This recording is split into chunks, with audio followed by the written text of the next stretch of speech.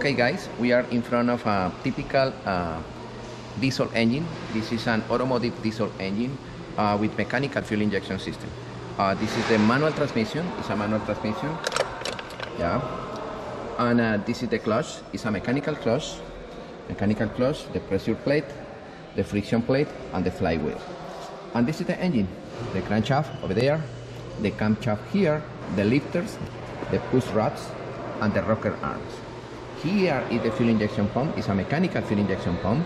Those are the plungers, the governor, the mechanical governor, the handle for the throttle, the lifting pump or priming pump to prime the system.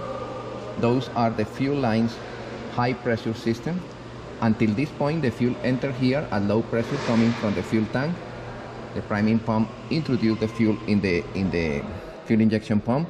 The plungers compress the fuel and the fuel goes out here at high pressure.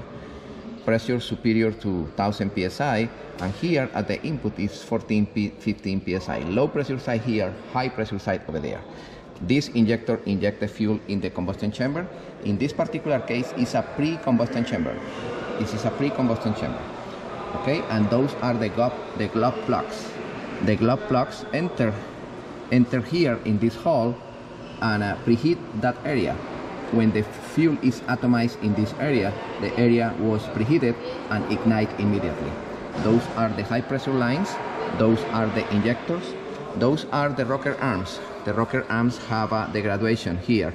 In order to introduce here, here, the feeler gauge, and you adjust the gap of the latch valve. That's perfect. And here we have a exhaust manifold.